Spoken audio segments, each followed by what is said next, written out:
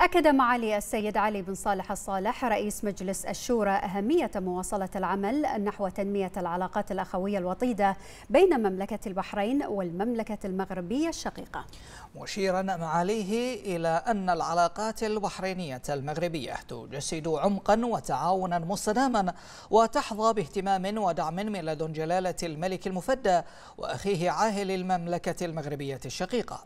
ونوه الصالح إلى أن ما تشهده مملكة البحرين والمملكة المغربية الشقيقة من تنسيق ثنائي رفيع المستوى في المجالات كافة يعد انعكاسا لروابط متينة وشراكة متعددة لتحقيق كل ما من شأنه رفعة ونهضة وازدهار المملكتين الشقيقتين.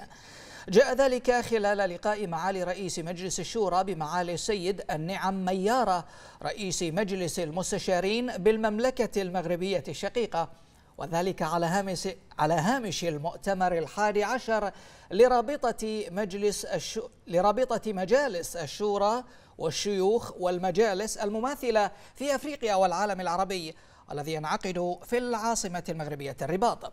أكد معالي رئيس مجلس الشورى أهمية الاستفادة المتبادلة من الخبرات في المجال التشريعي بين مملكة البحرين والمملكة المغربية.